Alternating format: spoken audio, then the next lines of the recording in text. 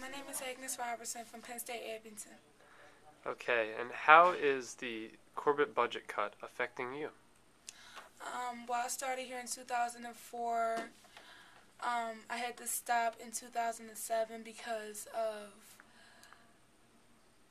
I was shot of two credits because every year a student has to gain 24 credits, and I was only had 22 credits at that time of the year, so they cut my financial aid packet away from me, and I had to basically what's the word I'm looking for? Take or delete all my classes that was registered for the fall semester. So I had to work three jobs for a whole year and a half um, to get back in school. And I started, and I came back in the summer of 08. I had to take the fall of 08 off because of finances. And then I came back in the spring of 20, 2009, and I started full time ever since then. So I have one more year to go after this year. Okay, how is this affecting Penn State as a whole? Um, it's affecting Penn State because, Well- Well, it, it affects everyone, right? I it does because you have students that really want to go to school and they can't because of their finances. They're not offering enough uh, grants or scholarships or not enough um, loans to students that need it as far as um, as far as for an example the financial aid packet i noticed i heard that they only offer they only give you the financial aid packet for i think the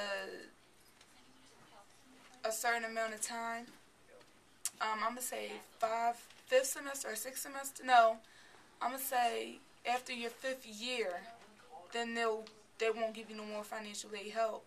So that is a huge factor, especially if you have uh, students that's majoring in certain um, in certain degrees that their classes are not offered every semester. They're offered every other semester or every odd semester, which sets them back even further.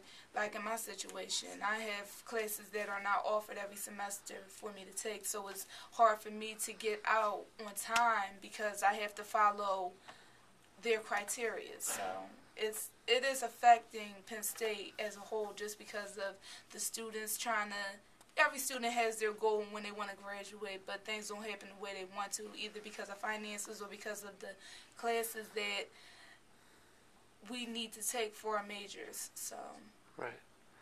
And what is your campus going to do about it? I'm hoping that my campus offer more classes as far as for students to take every semester. I feel as though if they wouldn't restrict the classes for certain students and their majors, it would be more easier for us to just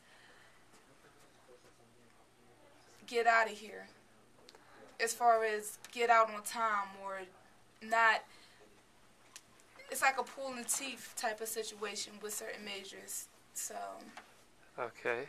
And uh, is what's coming up next week that, that students are going to be able to do? Uh, what what are students doing about this? um,